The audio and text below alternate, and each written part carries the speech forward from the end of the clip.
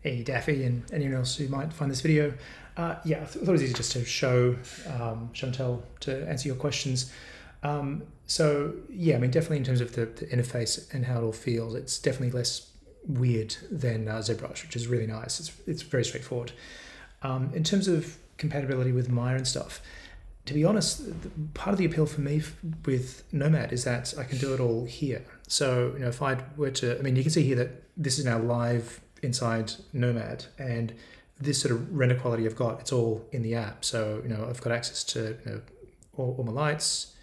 So I can um, you know, go back to just my environment light or I can turn them all back on again. You can see I've got uh, subsurface properties. Um, I've got um, post-processing. So in its default sort of um, sculpting mode, I'll be looking at it like this because it's nice and fast. But I can go to like full post-process and I can turn on full um, PBR shading and you get all this sort of uh, lovely, it's amazing.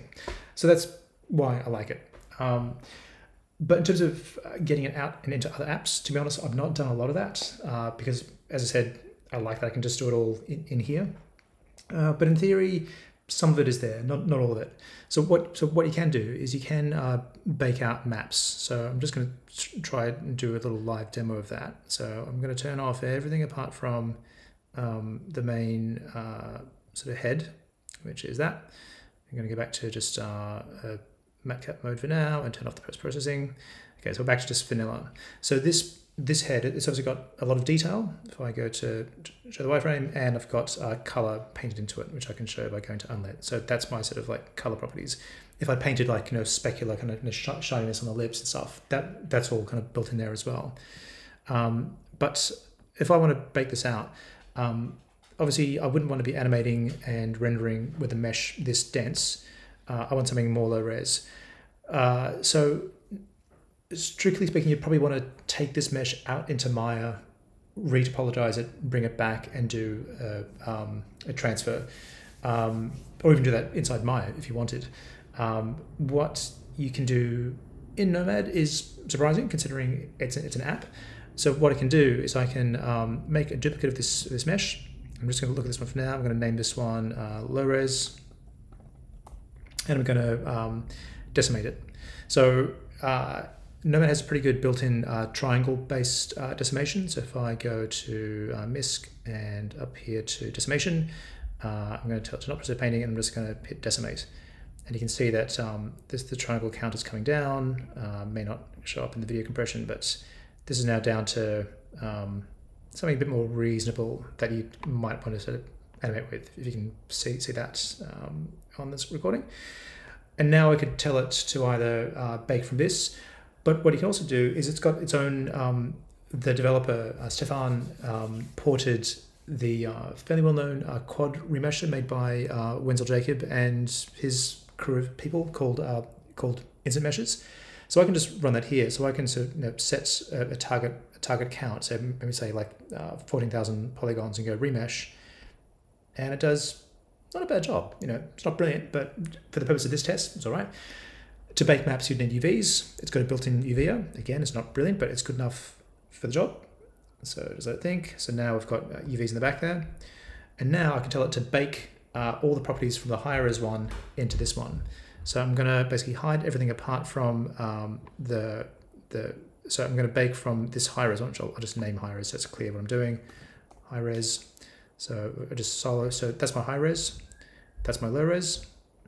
So they have to be both on and I'm going to choose my low res and I'm going to go and so bake. And so you can see here I can bake normals, color, roughness, metal, emissive, opacity, and a mask if you wanted. Uh, so I'm just going to go from my res and it's on. So if I now look at just the low res, so turn that one off, you can see that um, it will also quite nicely preview the maps for you uh, on the mesh. So if I go across to the material tab here, uh, make sure I've got the right thing chosen. Yep, and go to lit mode and turn up some of the lights, turn the lights back on again, um, and turn off the wireframe.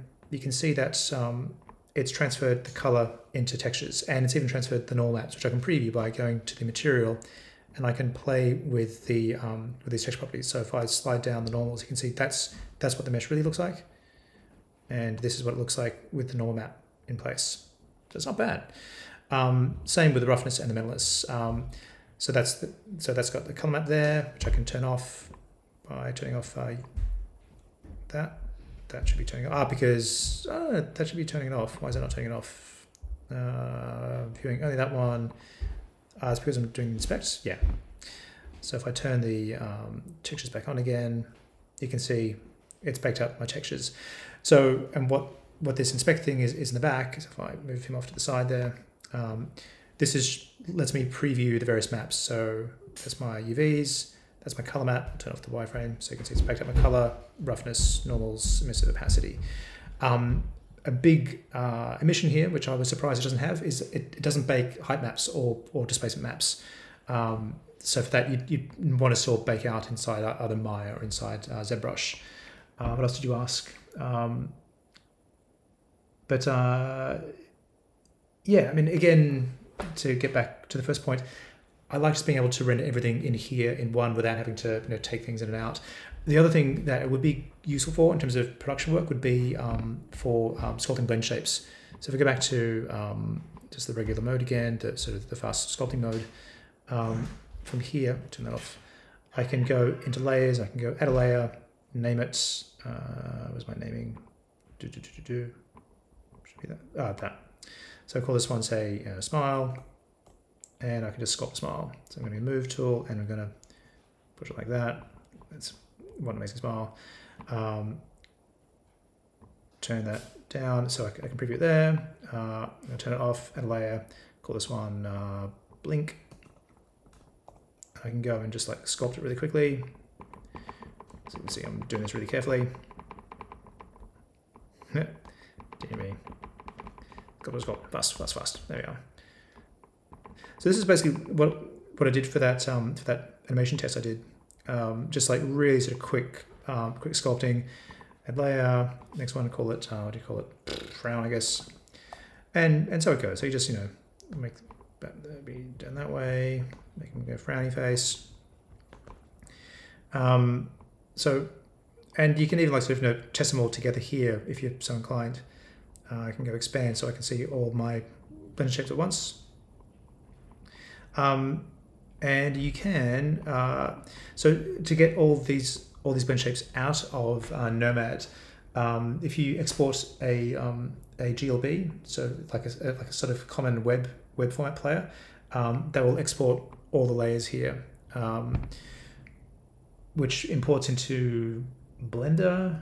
Uh, I don't know about my support. Houdini support is really bad, um, but it is possible to get them all out, and then you can use them as, as, as sliders, which is pretty good.